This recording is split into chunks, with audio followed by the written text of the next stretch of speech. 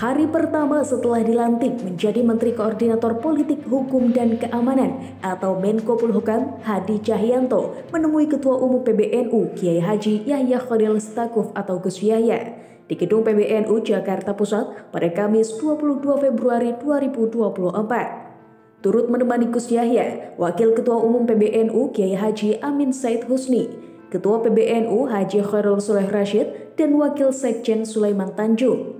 Menko Polhukam menjelaskan kunjungannya ke PBNU adalah untuk berdiskusi dengan Gus Yahya terkait situasi dan kondisi setelah rakyat Indonesia melaksanakan pesta demokrasi. Dalam kesempatan itu, Menko Polhukam menjelaskan prioritas selama 8 bulan ke depan adalah menjaga kondisi aman dan tentram, mulai dari pengumuman hasil pemilu sampai pelantikan presiden dan wakil presiden. Untuk menjaga keamanan dan ketentraman itulah, ia akan berkoordinasi dengan semua pihak termasuk PBNU. Menurutnya, PBNU merupakan organisasi kemasyarakatan yang memiliki kultur yang kuat dan berperan dalam menjaga kondisi di masyarakat, khususnya pasca pemilu. Kunjungan ke PBNU ini bukan pertama kali. Sejak saya menjadi Panglima TNI, hampir 3-4 kali saya kunjungan ke PBNU. Karena apa? Karena PBNU ini adalah organisasi kemasyarakatan yang sangat besar yang berfalsafah keagamaan mulai dari struktural sampai dengan kultural sampai ke daerah-daerah.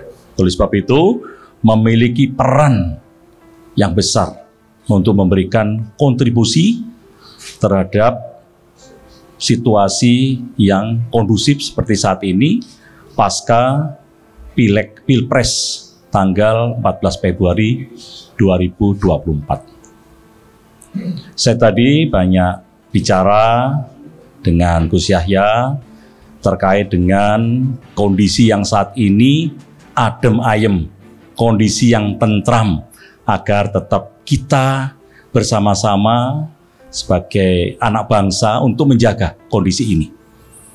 Dan beliau Gus Yahya sangat setuju dan sangat mendukung.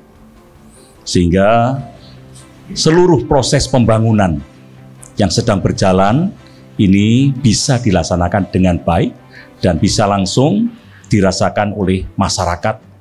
Dan insya Allah dengan dukungan kita semua, maka kondisi yang saat ini sangat kondusif ini terus akan terjaga.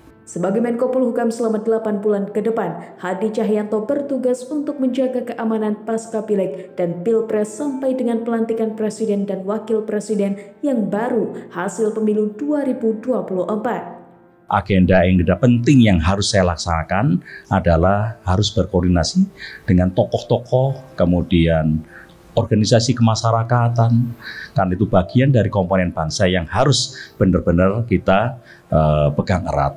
Kemarin saya sudah uh, bertemu dengan Pak Panglima TNI dan Pak Kapolri uh, terkait dengan kondisi keamanan dan beliau berdua menyampaikan bahwa kondisi kondisinya sangat kondusif, aman, tidak ada masalah. Nah, ini harus kita jaga kondisi ini sehingga agenda nanti sampai dengan akhir tahun ini semuanya bisa terjaga dengan baik. Berikutnya saya juga akan terus berkoordinasi dengan uh, seluruh tokoh agama. Besok saya ke Jogja, kemudian nanti siang saya tentunya akan ke senior saya, Pak Mahfud MD. Saya juga akan ke beliau karena ya sebagai orang timur kami juga menghargai senior saya yang pejabat sebelum saya saya akan berkoordinasi kira-kira apa saja yang uh, bisa jadikan masukan kepada saya sehingga menjadi pegangan untuk tugas saya adalah menjaga keamanan di negara tercinta ini.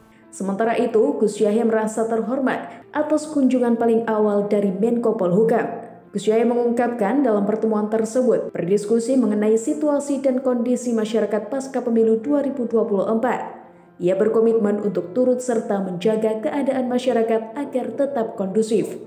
Gus Yahya juga menegaskan PBNU siap bekerja sama dengan Menko Polhukam Seluruh elemen masyarakat harus menjaga keadaan tetap kondusif agar agenda masa depan yang sudah kita rencanakan dapat terus dilakukan. Alhamdulillah kami mendapat kehormatan luar biasa kunjungan paling awal dari Menteri Koordinator Politik, Hukum, dan Keamanan, Bapak Hadi, yang pagi ini berkunjung ke kantor kami